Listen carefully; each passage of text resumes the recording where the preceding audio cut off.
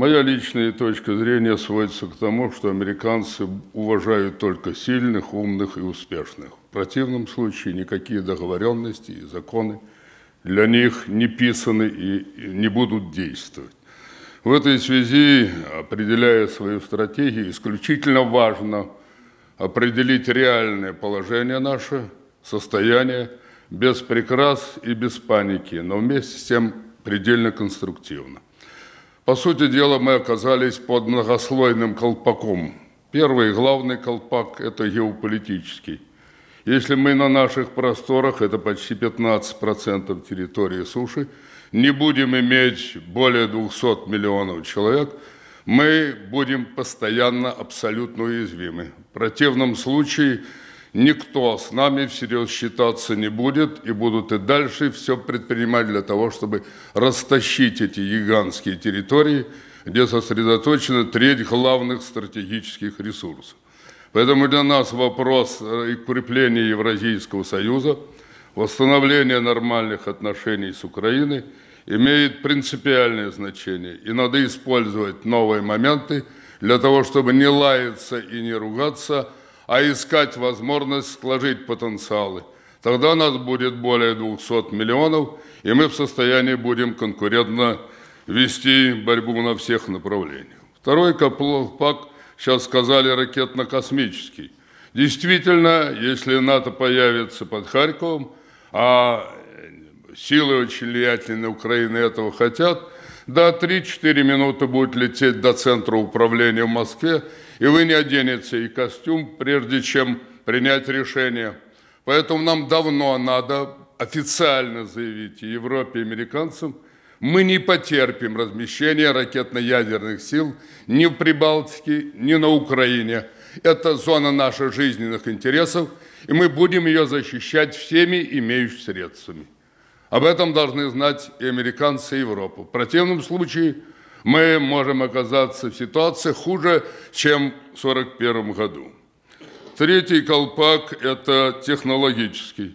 На 90% наше производство зависит от иностранных станков, роботов и машин. Сегодня на 10 тысяч работающих в Южной Корее 500 роботов, в Китае 40, у нас всего два. И продвижение в этом направлении не видно при нынешнем финансировании. Отсюда перед бюджетом стоит принципиально совершенно иная задача по формированию промышленно-производственной среды, которая позволяла бы решать эти задачи. Надо удваивать, утраивать усилия, а мы все топчемся, прекрасно понимая, чем это может закончиться.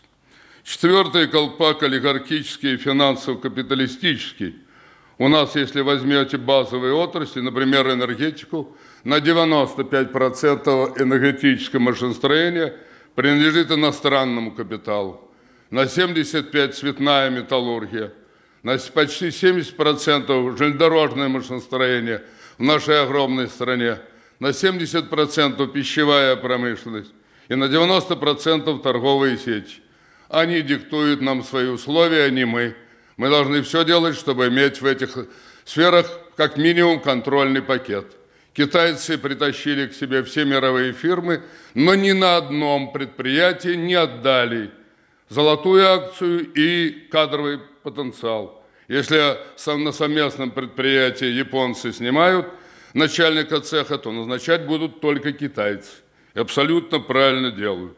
Что касается олигархии, то она у нас везет себя абсолютно антинационально.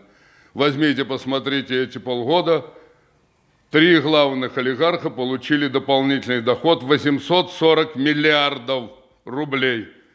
Пятилетняя программа президента по науке на 200 миллиардов меньше. Можно было давно ввести прогрессивную шкалу налогов, получить необходимые ресурсы и направить их на нужные цели.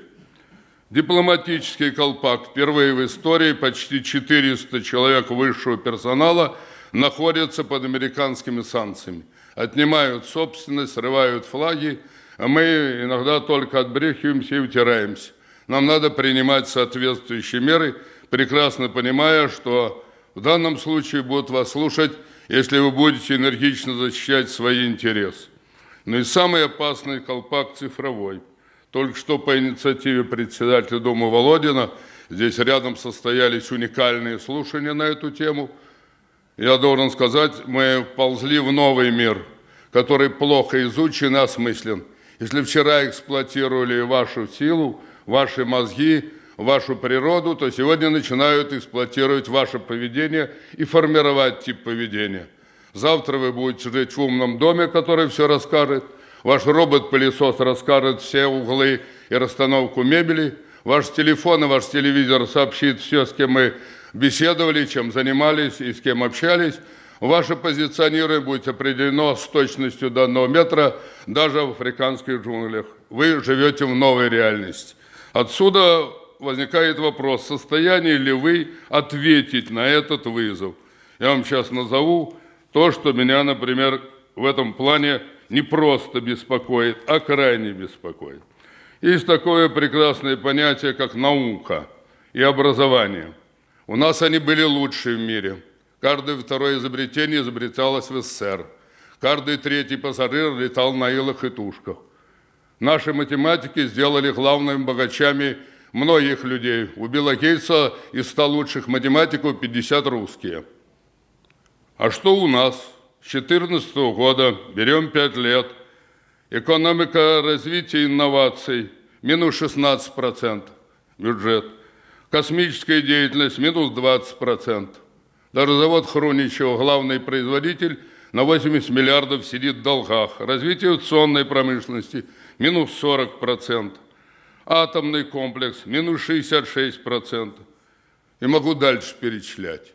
Или вы будете вкладывать в науку то, что положено, в образование минимум 7% от валового производства, или у вас ничего не будет, что бы вы тут не заклинали и какие бы законы не принимали. Мы обязаны срочно исправлять эту ситуацию.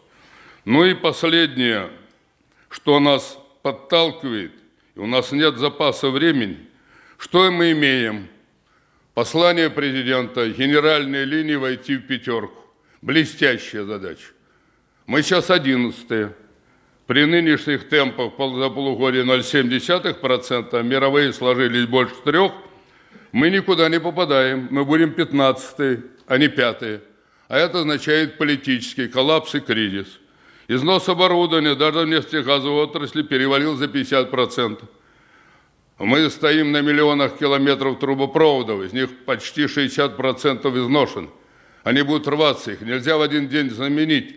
Все знают технологический процесс, надо 2-3% менять и столько же обновлять. В противном случае вы будете сидеть на атомной бомбе уже внутри страны. Я не вижу предметных мер. Обнищание граждан шестой год подряд идет. Можно что угодно. Можно иметь прекрасный мобильник, интернет, можно заказывать товары – но если у вас средняя зарплата у половины населения меньше 20 тысяч, а дети войны получают в деревне 8-9 тысяч, а в городе 12-14, вы будете только мечтать об этом. Все остальное для вас будет недостижимо.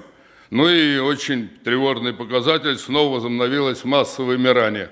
За это полугодие 150 тысяч человек потеряла наша страна. На мой взгляд, можно принять довольно быстро эти меры – но для этого нужно честное осмысление происходящего, качественный новый бюджет развития в 25 триллионов.